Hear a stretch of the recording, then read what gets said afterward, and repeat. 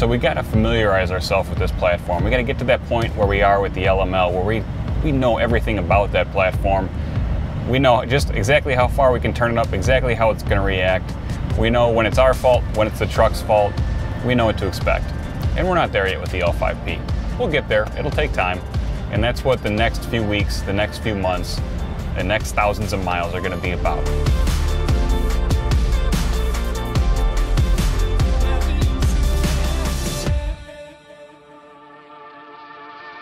The launch of the L5P was an exciting time for Duramax enthusiasts. Coming off the LML engine, which was very strong, 400 horsepower, up to a 445 horsepower output, totally redesigned bottom end, totally redone fuel system, new engine control module.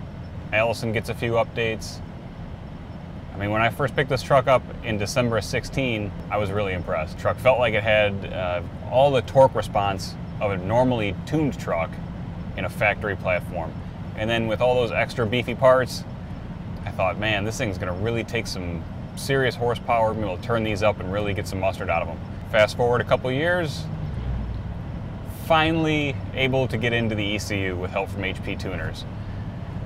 What that means for us is that now we can edit, now we can flash, now we can data log and do what we do as tuners to get the most out of this platform. HP tuners had us on the dyno with their truck, with their dually, I got to test around with that one for a full day. That was fun.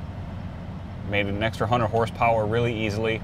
Got to find a few holes in the data logger that they patched up, add a few tables to the editor, which they also uh, added gladly. What we really need to do now is drive the truck. And that takes time.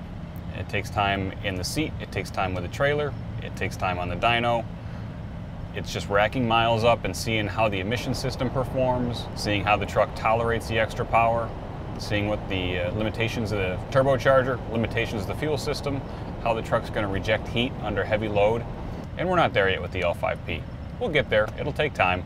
And that's what the next few weeks, the next few months, the next thousands of miles are going to be about. Familiarizing ourselves with the platform as tuners and being able to tell you guys what to expect as far as upgrading the truck goes. How do you make 500 horsepower? How do you make 600 horsepower? When is it time to upgrade the turbocharger? When is it time to put bigger injectors and a bigger pump in the truck?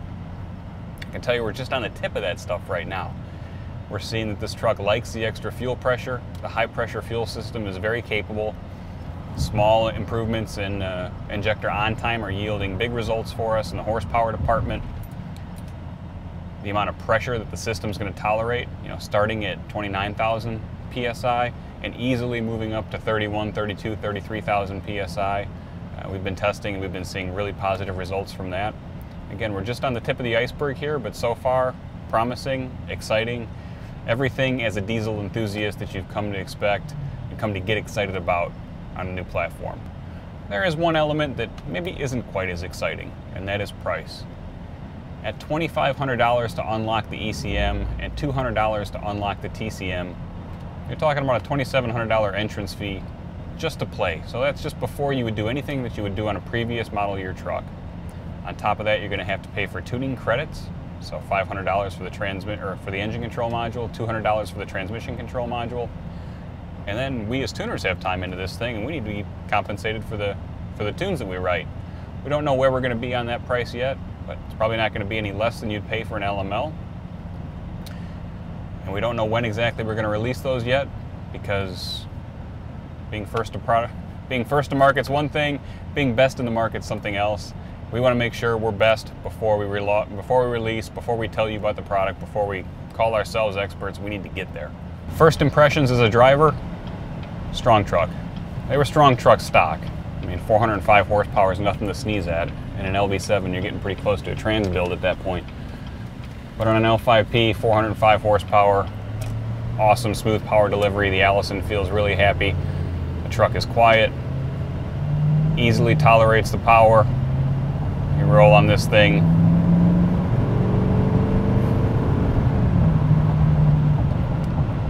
Thirty-three, thirty-four pounds of boost.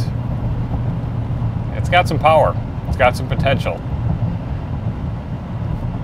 But just having potential and just showing that it can make power doesn't mean that it's going to be happy long term making power. It doesn't mean that the emission system is going to tolerate it long term. And really, we need to see, you know, see what our relationship with that system looks like. see how much capacity it has, see how well the turbocharger controls the air fuel ratio, see if we need to upgrade the turbocharger.